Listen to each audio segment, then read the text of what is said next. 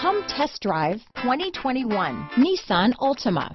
The Nissan Altima offers advanced features to make life easier, and most of the features come standard.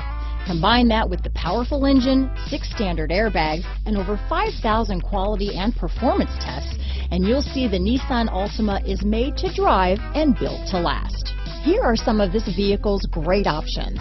Traction control, dual airbags, power steering, four-wheel disc brakes, trip computer, security system, rear window defroster, power windows, electronic stability control, brake assist, tachometer, remote keyless entry, panic alarm, overhead console, front reading lamps, power driver's seat, cloth seat trim, tilt steering wheel, front bucket seats. This vehicle offers reliability and good looks at a great price. So come in and take a test drive today.